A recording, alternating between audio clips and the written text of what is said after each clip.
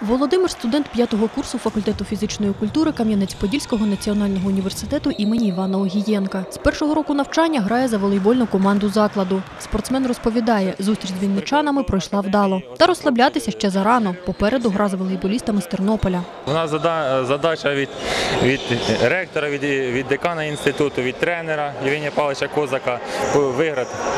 Перемога на цьому етапі була дуже важливою. Ми сподіваємося, що наш Кам'янець-Подільський національний потрапить фінальні змагання, а також, а також де самі найкращі спортсмени нашої команди будуть представлені в складі збірної команди України на всесвітній універсіаді, яка відбудеться в липні місяці.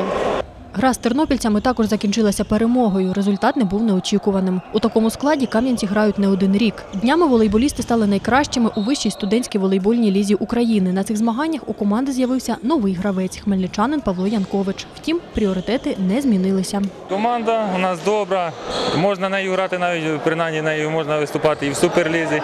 Нас всіх зібрати в одне ціле. Були би спонсори і, і все.